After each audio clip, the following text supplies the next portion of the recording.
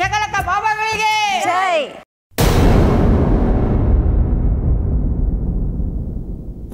ಕಾಳಿ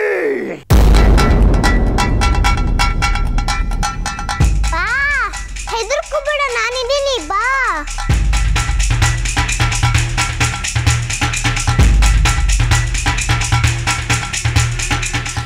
ಸ್ವಾಮೀಜಿ ಕಡೆ ಇದೆ ನಮ್ಮ ಚಿಕ್ಕ ಬಾಡಿಗೆ ಮನೆ. ಆ, ಹೊಸ ಮನೆ ಕಟ್ಟಿಸ್ತಾ ಇದ್ದೀವಿ. ಆ, ಕಟ್ಟೋ ತನಕ ನಾವು ಇದೇ ಮನೆಯಲ್ಲಿ ಇರಬೇಕು ಅಂದ್ಕೊಂಡಿದ್ದೀವಿ ಅದಕ್ಕೆ ನೀವು ಅನುಗ್ರಹಿಸಬೇಕು.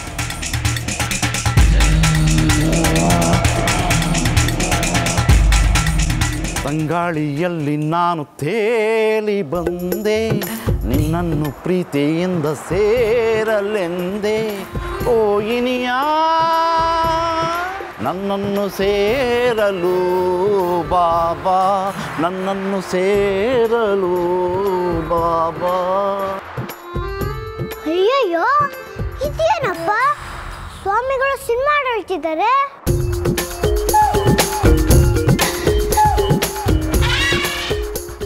ಅದು ತಂಗಾಳಿಯಲ್ಲಿ ನಾನು ತೇಲಿ ಬಂದೆ ನಿನ್ನನ್ನು ಪ್ರೀತಿಯಿಂದ ಸೇರಲೆಂದೆ ಅಂತ ಯಾರೋ ಗುರುಗಳನ್ನ ಕರ್ದಾಗ ಹಾಕ್ತಿದೆ ಅಂತ ಹೇಳ್ತಿದ್ದಾರೆ ಗುರುಗಳು.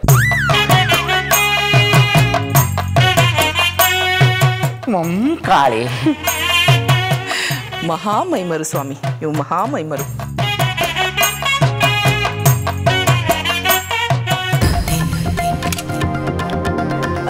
ಸ್ವಾಮಿಗಳೇ ನಾನು ನಿಮ್ಗೆ ಹೇಳಿರ್ಲಿಲ್ವಾ? ಈ ಮನೆಯಲ್ಲೊಂದು ಭೂತ ಇದೆ ಅಂತ ನಿಮ್ಗೆ ಇಲ್ಲಿಗೆ ಬಂದ ತಕ್ಷಣ ಗೊತ್ತಾಯ್ತು.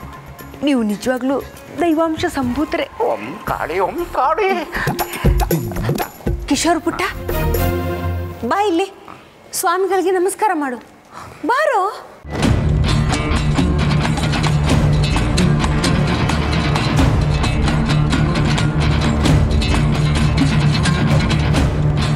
ನಾನು ನಿನ್ ಜೊತೆಗೆ ಬರ್ತೀನಿ ಬಾ.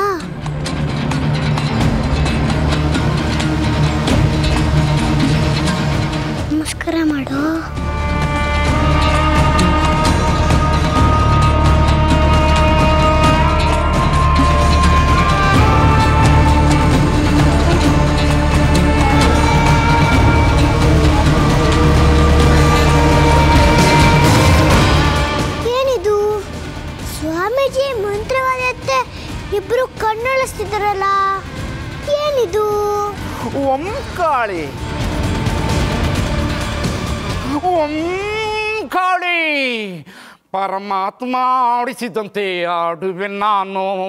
ಪರಮಾತ್ಮ ಮಾಡಿಸಿದಂತೆ ಮಾಡುವೆ ನಾನು. ಸ್ವಾಮಿ ಪರಮಾತ್ಮನ ಒಳಗೊಳ್ಳೋ ಹಾಕೊಳ್ಳೋ ವಿಚಾರನ ಬಿಟ್ಬಿಡಿ. ಮೊದಲು ಈ ಮನೆಯಲ್ಲಿರೋ ಆತ್ಮ ಬಗ್ಗೆ ಹೇಳಿ.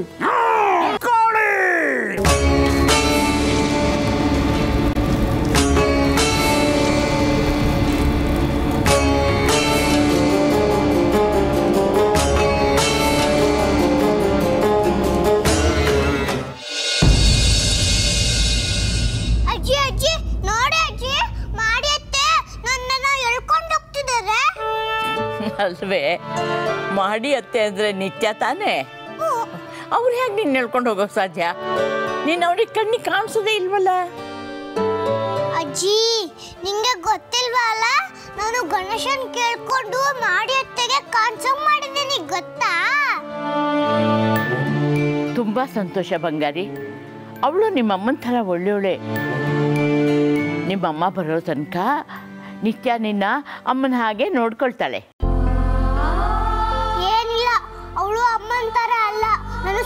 ಸ್ವಾಮಿಗಳು ಪೂಜಾ ಮಾಡೋದನ್ನ ನೋಡಬಾರ್ದು ಅಂತ ಇಲ್ಲಿ ಹೇಳ್ಕೊಂಡು ಬಂದಿದ್ದಾಳೆ. ನನಗೆ ಪ್ರಸಾದ ಬೇಕು. ಅತ್ತೆಗೂ ಹುಷಾರ್ ಮಾಡು. ನನ್ನ ಹೇಳ್ಕೊಂಡು ಹೋಗಬೇಡ ಅಂತ ಹೇಳು. ಓ ಸ್ವಾಮಿಗಳು ಬಂದ್ಬಿಟ್ರ? ಆಯ್ತು ನಿನ್ನ ಹೇಳ್ಕೊಂಡು ಹೋಗಬೇಡ ಅಂತ ಹೇಳ್ತೀನಿ. ಈಗ ನಿತ್ಯ ಅತ್ತೆ ಎಲ್ಲಿದ್ದಾಳೆ? ಅಜ್ಜಿ ನಾನು ಇಲ್ಲೇ ಇದ್ದೀನಿ. ನಿತ್ಯ ಇಲ್ಲಿ ಬಾಮ್ಮ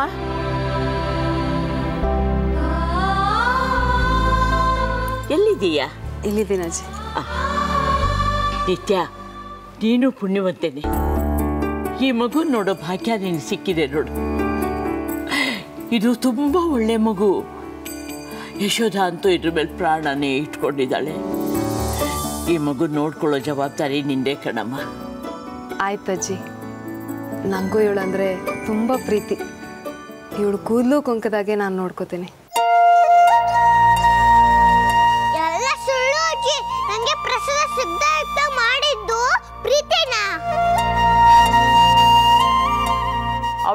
ಹೇಳೋದು ನೀನೇ ನೀನ್ಯಾಕೆ ಅವಳನ್ನ ಹೇಳ್ಕೊಂಡು ಬಂದೆ? ಅವಳು ಪೂಜೆ ನೋಡ್ತಾ ಕೂತಿರ್ಲಿ ಬಿಡು. ಆಮೇಲೆ ಪ್ರಸಾದನೂ ತಿನ್ನಲಿ ಬಿಡು.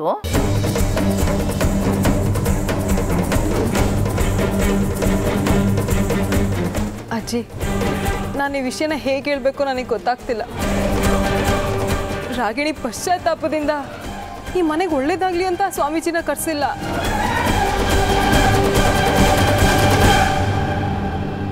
ಅಂಜಲಿನ ಮನೆಯಿಂದ ಓಡಿಸೋದಕ್ಕೆ ಆ ಸ್ವಾಮೀಜಿನ ಕರ್ಸಿರೋದು.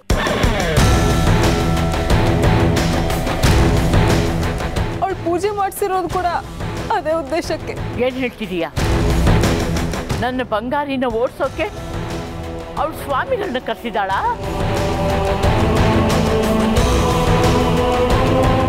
ಅವನು ಸ್ವಾಮಿ ಅಲ್ಲ ಬೇರೆ ಯಾರೋ ಮಾಂತ್ರಿಕ ಇರಬೇಕು. ಹೌದಜ್ಜಿ ನನಗೂ ಹಾಗೆ ಅನ್ಸುತ್ತೆ. ಅವ್ರೇನಾದರೂ ಮಂತ್ರತಂತ್ರ ಮಾಡಿ ಅಂಜಲಿಗೇನಾದರೂ ಹೆಚ್ಚು ಕಮ್ಮಿ ಆಗಿಬಿಟ್ರೆ ಅಂತ ಆತಂಕ ಆಗ್ತದೆ.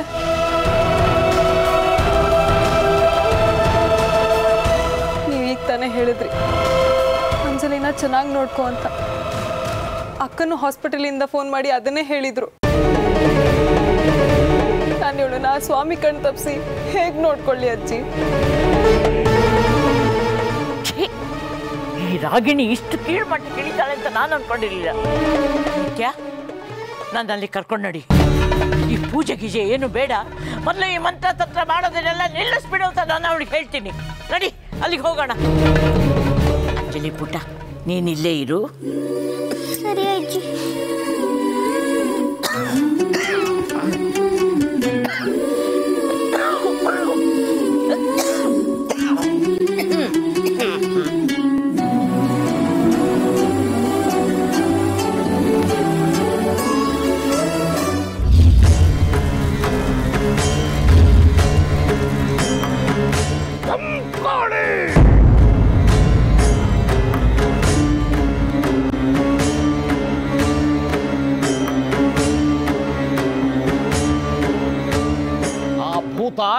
ಮನೆಯನ್ನ ಆವರಿಸಿದೆ.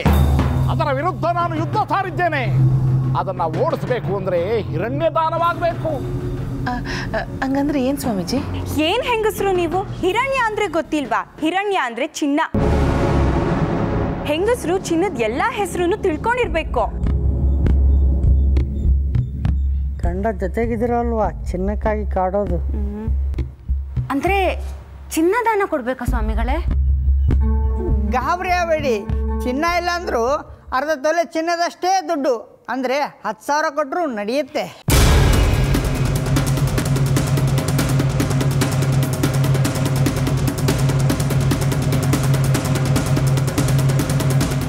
ಅಣ್ಣ ಬಾಯಿಲಿ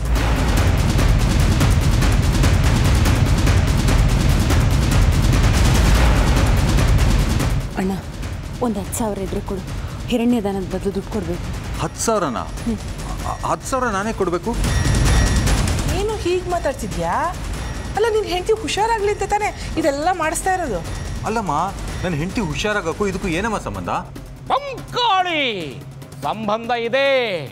ಎತ್ತಣ ಮಾಮರ ಎತ್ತಣ ಕೋಗಿಲೆ ಎತ್ತಣಿಂದೆತ್ತ ಸಂಬಂಧವಯ್ಯ. ಪಾಪ ಆ ಮಗು ಮತ್ತೆ ಯಾವತ್ತೂ ಈ ಮನೆ ಒಳಗೆ ಬರೋಕ್ಕಾಗಲ್ಲ ಅನ್ಸುತ್ತೆ. ಅದಿಲ್ಲಿ ಬರ್ತಿದ್ರು ಪರವಾಗಿಲ್ಲ. ಆ ಮಗು ಎಲ್ಲಿದ್ರು ಚೆನ್ನಾಗಿದ್ರೆ ಸಾಕು. ಏನಪ್ಪ? ಸ್ವಾಮಿಗಳು ದನ ಆಗ್ತೀವಿ ಅಂತ ಅಂದಿದ್ದಾರೆ. ಅಂದ್ರೆ ನಾವು ಒಳಗ್ ಬರಬಾರ್ದು ಅಂತ ಬಾಗ್ಲಿಗೆ ದನ ಕಟ್ಟಿರ್ತಾರ? ಅದೇನಾರು ಸಗಣಿ ಹಾಕ್ಬಿಟ್ರೆ ನನ್ನ ಒಳಗ್ ಹೆಂಗ್ ಹೋಗೋದು? ಬೇಡಪ್ಪ ಅದು ಹಾಕೋಕೆ ಅಂತ ಮುಂಚೆ ನಾನು ಮೊದಲು ಒಳಗೆ ಹೋಗ್ಬಿಡ್ತೀನಿ. ಏಯ್ ನಿಲ್ಲು! ಅಯ್ಯಯ್ಯೋ ಇದೇನಪ್ಪ? ಸ್ವಾಮಿಗಳು ಹೀಗೆ ಹೇಳ್ತಿದ್ದಾರೆ? ನಾನು ಚುಟ್ಟು ಬಸ್ನಾಗ ಹೋಗ್ತೀನಂತೆ. ಏನಪ್ಪ ಮಾಡೋದೀಗ?